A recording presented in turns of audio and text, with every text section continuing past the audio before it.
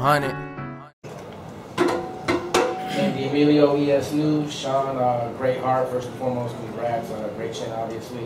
Um, gotta ask, I, was, I spoke to Keith Thurman while he was here during the Charlo fights. Uh, he pretty much ruled out, you know, any comeback fight against a big name fighter. He said, he said he fought two dogs in a row and needed to fight a puppy, verbatim.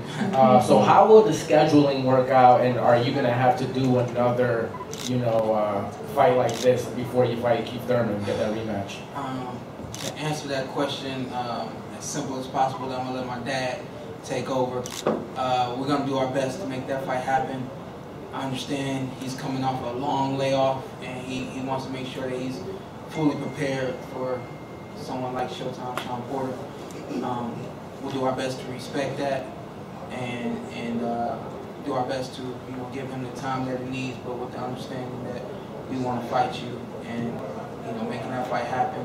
Other than that, I'm gonna do what I always do: get back to training and uh, whoever they tell me to, to fight, that's who I'm gonna fight. Um, even with Adrian Granados, not a lot of people knew Adrian Granados, but we came here and we both put on a fantastic performance. Uh, I just landed more clean and harder shots than him.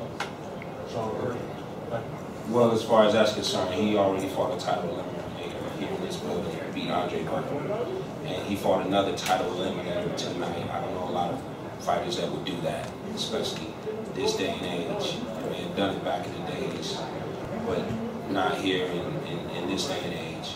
Uh, he shouldn't have to do that again. He shouldn't have to go through anything like that again. What he put himself through tonight um, shows that uh, not just you know the physical part of it, you know, but the mental part of it that it takes for him to push through something like that. He de he's deserving of the uh, Keith Thurman. So we will allow him to. Uh, we respect him as a champion and respect the fact that he was out with an injury as well. We allow him to um, sort that out the best way him and his handlers deem necessary, fight who they feel that they should fight. Uh, you know, I understand his thought process not wanting to come back and fight a top fighter at, the, at this point. Let him do that, and then when the dust clears, we'll be there waiting. We're just going to work on other things like our right hand and both legs. And the mental sharpness will maintain that as well. So, but we'll be waiting when he's done. We won't fight anybody else until he's ready to fight. Shawn over here. Great. Congratulations, Kenny, you too. Um, Shawn, one of the things you had said leading up to this fight was that uh, you knew that Granados had a handful of losses, but all of them had been by split decision, majority decision. You talked about wanting to be the first guy to hang a real authoritative, no doubt about it, lost on this guy. Can you talk about your sense of satisfaction in being the first one to do that against a guy that, that obviously is a good fighter, but not with you tonight?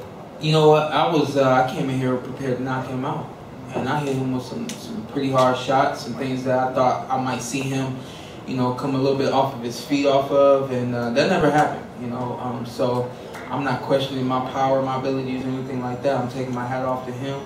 Um, my dad even screamed uh, one of the earlier rounds. He said, uh, he said, "Go to the body. He knows how hard his head is." and uh, I heard that, I understood that, and uh, I definitely think we should have went. I should have went to the body a lot more uh, throughout the fight. but neither here nor there. Um, it, it, feels good to get a, another great win uh, in front of a, a, an exciting crowd, and, and just you know, I'm, I feel blessed to be able to do what I do as always. And I've done so with no questions. Like he can't say it was a majority decision. Can't. yeah, I you know I heard him you know when I was getting out of the ring saying that he was robbed, and I've I've never been on that side of the fence. I've never heard I've never beat someone and they, they said you know I got robbed by you. So uh, that was uh, a little bit of a surprise to me. I, I, I got some surprises tonight. You know I got a little bit of an injury and you know something I never heard before. But uh, we're gonna keep it rocking and rolling and I'm sure he will too. Um, but we we're gonna keep it moving past him. I beat him decisively, unlike any other fighter out here, and uh, I wish him the best. Which hand was it?